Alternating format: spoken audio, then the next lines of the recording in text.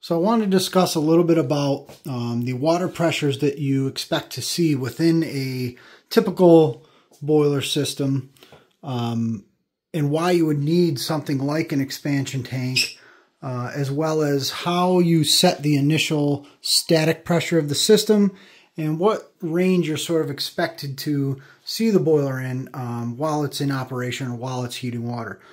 So the first thing to sort of cover is how does the boiler itself get water into the system. Now this could be done, um, there's a difference between purging the system and getting all the air out versus setting the initial static pressure of the system. So you may use uh, full city water pressure to purge out your zones. Uh, so that being you could actually hook a garden hose to some of the service valves that you may see on here. Um, like just for example, this. So say you wanted to fill that loop, you could go ahead and put full, for example, 55 to 60 PSI right on that to get all the air out of the system. Now you do want to be careful depending on the type of heating um, that you have, whether it's in floor, radiators, or baseboard. Um, all those can typically handle those pressures with no problem, but you just you just want to be conscious about what you're doing um, and how much pressure you're really throwing at it. But that's when you're purging the system. But what you want the system to be filled with uh, before you go ahead and uh, turn on the boiler and, and start heating things. So that's usually around the 12 to 15 psi range. For example, this Navien system will automatically regulate that pressure at 12 psi. So on this certain application right here, this boiler has what's called an auto feed which will automatically fill the system. It may not purge all of the air, so you may still have to manually purge things, but in this video, we're just talking about the pressure itself and what you want to see. So um, this, when you initially start up this boiler, it will take the 55 or 60 PSI, whatever your city water pressure is at, and fill the system. And as soon as it feels some resistance, which is meaning the system is becoming filled, some of the air is being eliminated. But as soon as the, the boiler registers 12 psi internally, it's going to shut off that water supply. Now, in this boiler, what would happen is if if it shuts off and then you get some air bubbles that move around and that pressure drops, it's going to open it again and allow that full 55 or 60 uh, psi to enter again. And when it feels the resistance and hits 12 psi, again, it's going to close. So the point being that it's going to automatically regulate the pressure at 12 psi. Now, even if you don't have an auto feed, a lot of times what you would see is off of an expansion tank, you would have a fill valve um, or a pressure regulator in that spot. Now, there's reasons you would put it on the expansion tank and where that expansion tank and fill valve or pressure regulator would be placed in the system, and we could talk about that separately.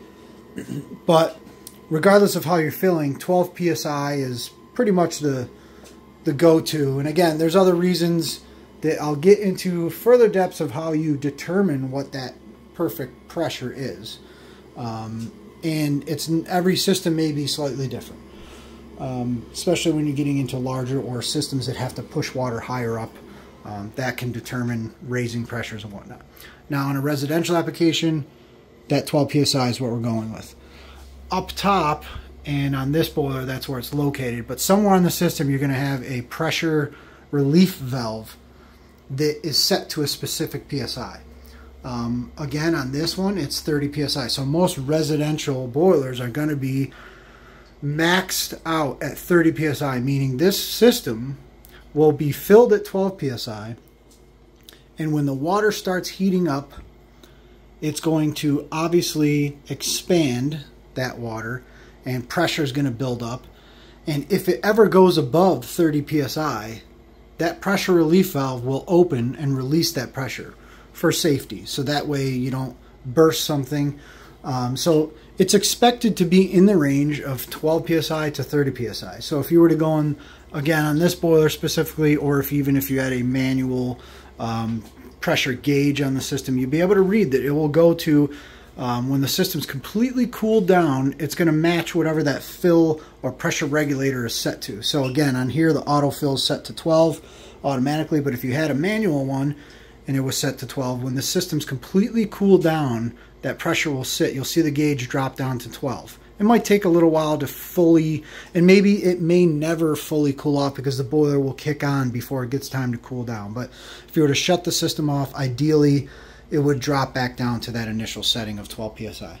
So at its maximum point, the most it will ever um, push could be 30 before the pressure regulator goes off. So a lot of times you'd be surprised. This this system can ramp all the way up to 28, 29 psi. I mean, a pressure relief valve is not going to automatically be 100% perfect at 30 psi. So you could even push it to 30, 31 before that thing actually goes off. But ideally, it should be at 30. So this system, don't be surprised if your system is actually running at 28, 29. Now, what you could do is bleed off a little bit of that pressure. And if you have an automatic valve, um, so if, what I'm getting at is if you're noticing your pressure relief valve is leaking, it may just have one or two or three pounds too much of static pressure, meaning that maybe you're at 15 psi and it needs that 15 psi of room um, and now you're just just barely pushing above. So um, there's a few other reasons why you could be having a leaky pressure relief valve. I mean that could be because your expansion tank is not doing its job and we'll get into that next. So um, the reason you need an expansion tank is for the expansion of the water like we just talked about. So this tank and ideally what you want to set this tank for is the static pressure that the system is at.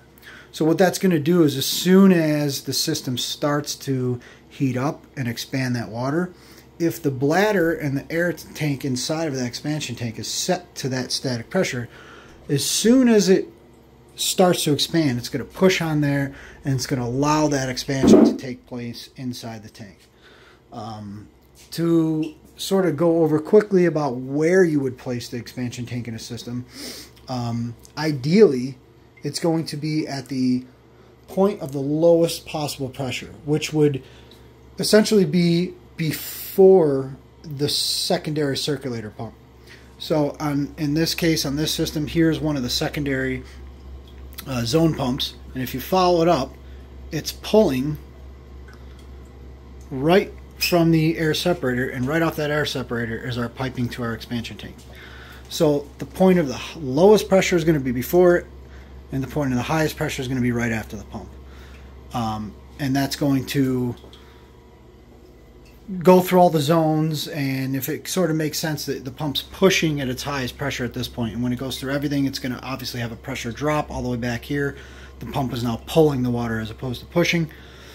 Um, so that's where you want to have that expansion tank. And typically that's also where you want to have your fill valve because if you think about it your secondary pump pulling and the lowest pressure point if you're filling the water there. The water is going to want to naturally fill at that point because it's going to rush. You're putting a high pressure into a low pressure. That's just naturally going to be the best place to fill. Um, it doesn't have to and you may have a system that's not but that is ideally the best place to put it. Um, so I hope this video sort of clears up some of the thoughts. I've been getting a lot of comments and emails um, just about all sorts of things, you know, whether it is the, the pressure or the placement of components. So if you do have questions specifically of why does that go there, I'm trying to do some of these videos to sort of talk about that.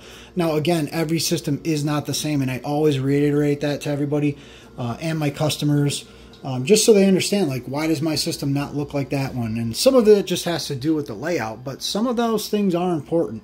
Um, it's not a one size fits all. No system is.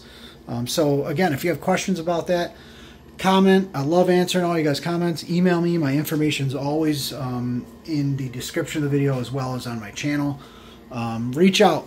And uh, if you guys haven't yet, subscribe. I'm making lots of videos just like this. Please look back. We have at our other videos, we have tons of videos of not only just boiler systems, but construction work, um, residential home builds we cover a lot of uh, different subjects. So reach out if you do for any, if you need a system built or if you need any help with the design or any consulting. And uh, with that said, we'll see you guys on the next one.